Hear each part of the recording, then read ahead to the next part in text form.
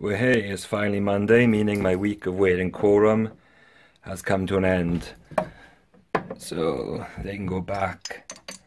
And I can finally smell some of my aftershaves. Fuck yeah. Fahrenheit. So, yep, I haven't smelled anything for a week.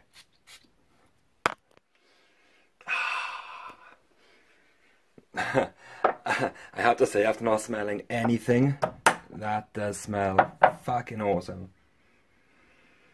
Yeah, I would highly recommend going on a fragrance diet.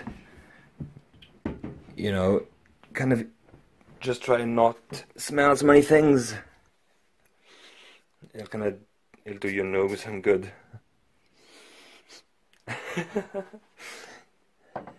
yep, so I've enjoyed that. Quorum served me well, but I'm looking forward to wearing my scents a lot more now.